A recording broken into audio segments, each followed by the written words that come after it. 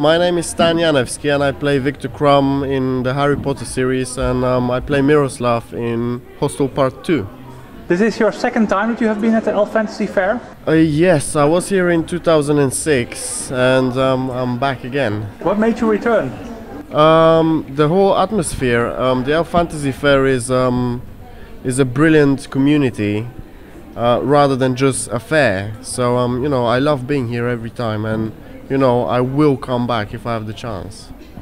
You've been in two Harry Potter films. Yes, one of them isn't out yet, yes. Can you tell us a bit about the scene that you filmed? Um, yes, the scene is where uh, Fleur Delacour is getting married to one of the Weasley brothers, and Viktor Krum goes to that wedding, so that's really nice of him. And Luna Lovegood is amazing, and her dad, oh my god, you know, together you're gonna love it. I mean, they are brilliant. And um, the whole scene, I mean, the whole sequence of the wedding is fantastic.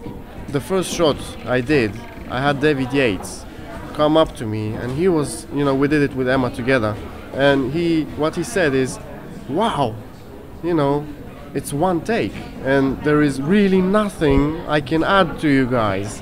Is there anything you would like to do This besides be an actor? Yes, definitely. This is a brilliant, brilliant question.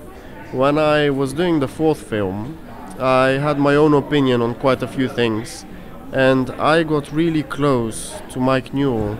And um, what he told me is I should consider directing.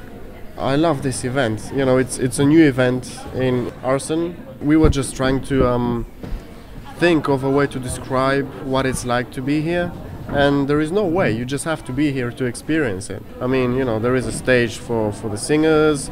There are different like workshop places. There are like ancient armory um, you know tents put up where where you know you just get the feeling of being back in time. I'm gonna have my my own time to walk around and you know concerts are happening tonight.